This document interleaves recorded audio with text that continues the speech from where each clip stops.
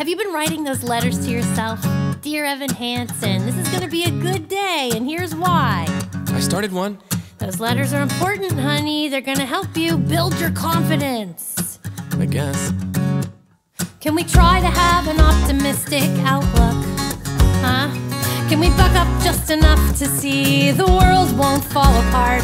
Maybe this year we decide we're not giving up before we've tried. This year we make a new start. Hey, I know, you can go around today and ask the other kids to sign your cast. How about that? Perfect. I'm proud of you already. Oh, good. Another stellar conversation for the scrapbook. Another stumble as I'm reaching for the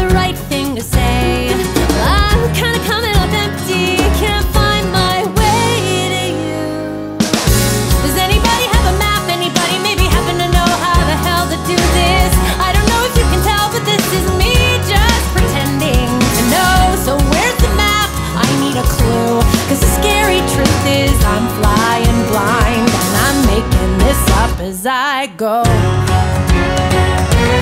It's your senior year, Connor. You are not missing the first day. I already said I'd go tomorrow. He doesn't listen.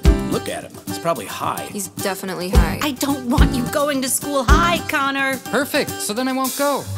Thanks, Mom. Another masterful attempt ends with disaster. Interstate's already jammed. Pour another cup of coffee and watch it all crash and burn. Connor finished the milk. It's a puzzle, it's a maze. I try